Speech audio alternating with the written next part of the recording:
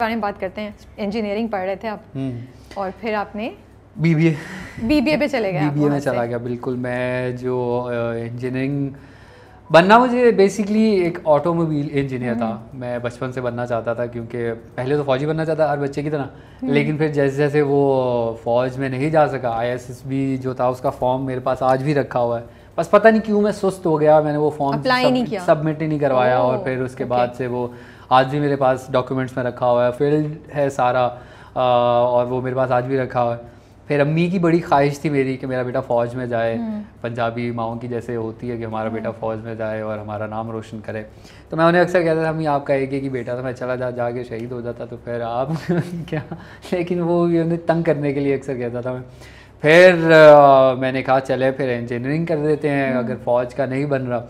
तो इंजीनियरिंग में मेरे मार्क्स तो अच्छे आ गए थे। जब मार्क्स अच्छे आए तो ओवर कॉन्फिडेंट हो गए हम। मैंने टेस्ट एडमिशन टेस्ट की तैयारी नहीं की। और ऐसे बैठ और मैं ऐसे मतलब मुझे कहा था मेरे टेस्ट मार्क्स इतने अच्छे आ गए हैं तो वो तो फिर इजी हलवा होगा और कोई मजाल है। मैंने तीन यूनिवर्सिटीज़ का टेस्ट दिया था और किसी एक का भी क्लियर नहीं कर सका मैं। ओह माय गुडनेस हाँ तो इतना मैं बिल्कुल ही नालायक हो गया ओवर कॉन्फिडेंस में आके। फिर जिस यूनिवर्सिटी में मैंने ये किया है कॉन्सेप्ट उधर से मुझे कॉल है कि आपके मार्क्स तो अच्छे हैं आपको इंजीनियरिंग में तो नहीं। हम जो है आपको बैचलर्स ऑफ़ फिज़िक्स में बल्कि मैथमेटिक्स में आपको एडमिशन दे देते और उसमें स्कॉलरशिप में। तो मैंने कहा कि मैं मैथ्स में इतना अच्छा नहीं हूँ। हाँ। अगर आपने देने हैं मुझे फिजिक्स में दे दें उसमें मैं कुछ इन्वेंट तो कर सकूँ कुछ वो engineering का कुछ हाँ कुछ समथिंग लाइक दैट मुझे हाँ। वो चीज़ ज़्यादा मज़े की लग रही थी। उन्होंने कहा ठीक है हम उसमें आपको कर देते हैं। उसमें किया उन्होंने और मैं तकरीबन एक दो सेमेस्टर लगाए मैंने वहाँ पे। मेरा एक दोस्त बन गया था वहाँ पे बहुत अच्छा। हम्म। वो भी बेसिकली सियालकोट से ही था। तो हमारी बहुत अच्छी बॉन्डिंग हो गई थी। Okay. अब उस बेचारे का जो है वो हो गया था डीआई मतलब उसका ख़त्म हो गया वहाँ पे उसको उन्होंने निकाल दिया। तो उसने शिफ्ट कर लिया बीबीए में। तो वो मुझे भी कहता कि तू भी आ जाओ उधर ही। मैंने कहा नहीं मैं मैं कर रहा हूँ ये मैं फिज़िक्स कर रहा हूँ मैं अच्छा कर लूँगा। टीचर्स भी कुछ कहने लगे कि तुम्हारा इंटरेस्ट इतना लग नहीं रहा तुमसे होगा नहीं। मैंने कहा नहीं मैम मैं कर लूँगा मैं कर लूँगा। मुझे पता है अपना मैं अभी थोड़ा सा वो दूसरी मतलब यूनिवर्सिटी में आ गया थोड़ा हाँ हाँ मुझे वो आदत थी कि बिल्कुल लास्ट मोमेंट पे तैयारी करने वाली। यूनिवर्सिटी का सिस्टम और था उसमें आपके वो पहले मार्क्स होते हैं असाइनमेंट्स क्विजेज और वो मिड टर्म्स होते हैं वो सारी चीज़ें थी वो मुझे समझ नहीं आई थी। तो इस वजह से मैं थोड़ा पीछे रह गया लेकिन सब टीचर ने कहा मुझे फिर मेरे वो जो मेरे दोस्त थे वो कह रहे थे कि तुम बोलते अच्छा हो तुम तुम्हारी स्किल अच्छी है तो उसमें बी में ज़्यादा तुम्हारी एक कॉन्फिडेंस तुम्हारा काम आएगा तो तुम चले जाओ।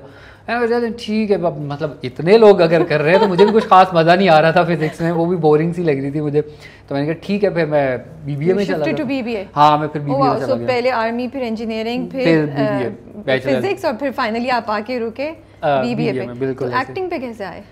बीबीए जब मैं कर रहा था उसमें हमारी यूनिवर्सिटी में बेसिकली एक्टिंग मुझे करनी थी।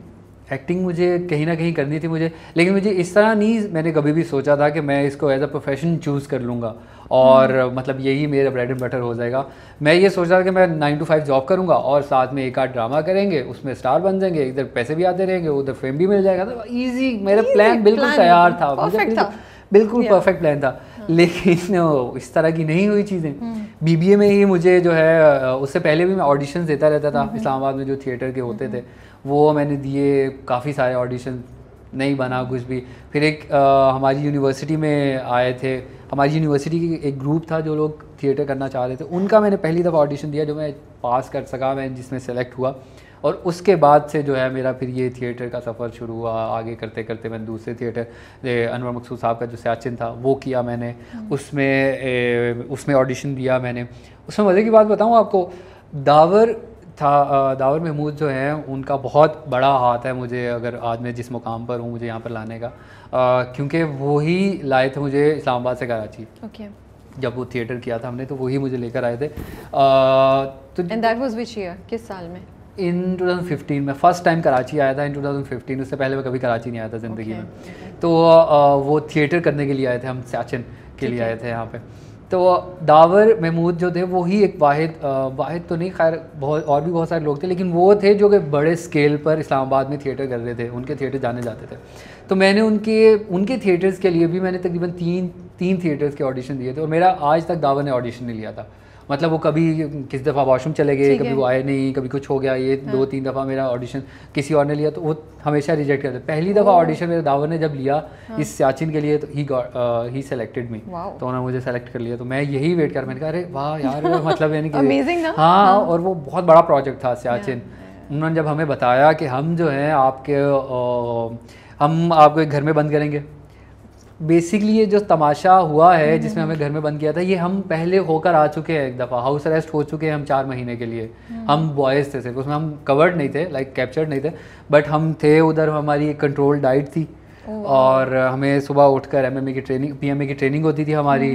अ, फिर आके हमें कैलकुलेटेड नाश्ता मिलता था फिर हम आगे सोते थे दोबारा से। फिर हमारे जिम जाते थे एमएमए की ट्रेनिंग होती थी फिर हम रिहर्सल्स करते थे और इसी तरह करते करते करते करते चार महीने का टाइम जो है टेन्योर हमारा वो गुजरा था। उस प्ले के लिए उस प्ले के लिए। थिएटर प्ले के लिए। थिएटर के लिए मतलब वो दाव सब लोग जब हम बताते कहते कि क्या कर रहे हो क्यों कर रहे हो तुम लोग इसकी ज़रूरत क्या है तुम लोगों को? वो दावर से भी बहुत सारे लोगों ने कहा कि क्यों कर रहे हो ऐसे खाम का पैसे ज़ाया कर रहे हो लोग उनको बंद कर रहे हो घर में तुम्हारा नुकसान है ये वो। लेकिन दावर बस श्योर के उसने कहा था कि नहीं मुझे इन लोगों में वो फ्रस्ट्रेशन दिखानी है जो वो सियाचिन में बैठे हुए जो वहाँ पे फौजी हैं जो हमारे सिपाही हैं हमारे आर्मी मैन हैं वो लोग फील करते हैं वहाँ पे। वो इसी तरह की वो इसी तरह की आपके पास जब कुछ करने को नहीं है आपके पास कोई इंटरनेट नहीं है कोई फ़ोन नहीं है कोई लैपटॉप नहीं है आपके पास कुछ पढ़ने को नहीं अखबार तक नहीं था हमारे पास।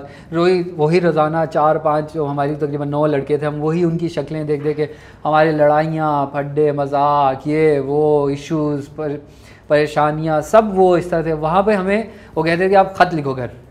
हम खत लिखते थे हमारा खत का जवाब आता था wow. तो वो बहुत मज़े का एक्सपीरियंस था।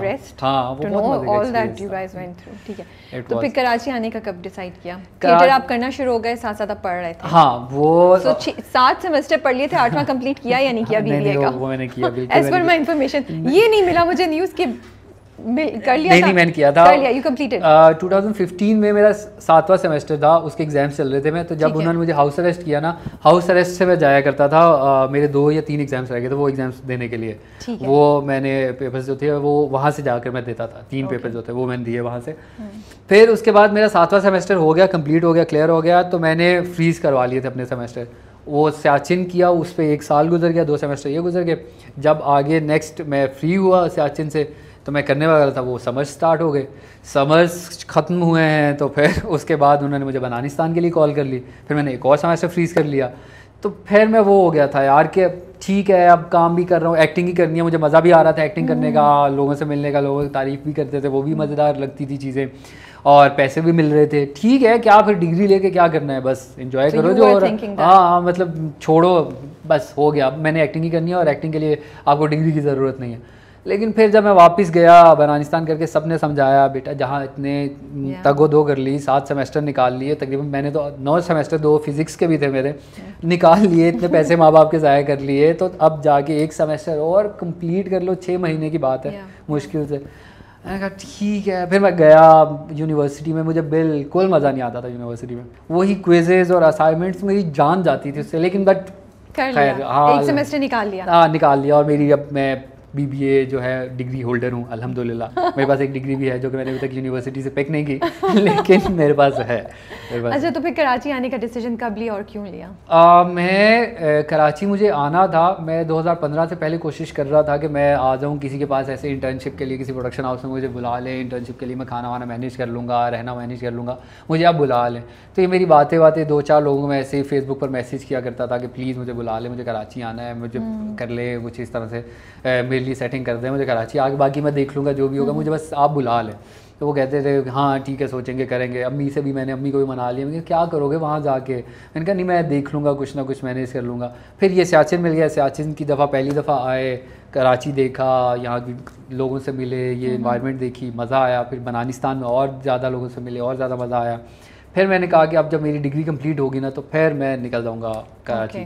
तो फिर मुझे अच्छी तरह याद है कि मैं 19 तारीख की ट्रेन लेकर बैठा था वहाँ से रावलपिंडी से और 20 तारीख को मैं यहाँ पर पहुँच गया था कराची आ गया था। इकॉनमी में मैंने आया मज़े से। वाइट कलर की टी शर्ट पहनी हुई थी मैंने ऊपर किसी अंकल का सालन रखा हुआ था। मुझे नहीं पता चला मैं बैठा रहा बैठा देख रहा था बाहर थोड़ी देर बाद मुझे यहाँ पे गीला गीला फील हुआ।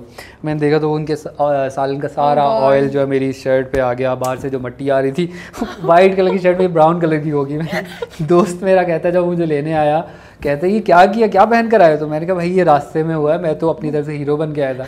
कहता बेटा मुबारक हो कराची ने आपका वेलकम कर दिया। मैंने कहा थैंक यू यार. तो मेरे अ, मतलब मुझे अ, मैं खुश नसीब इस अपने आप को इस वजह से कहूँगा कि मैं रहा कि मुझे मेरे दोस्तों ने बहुत सपोर्ट किया।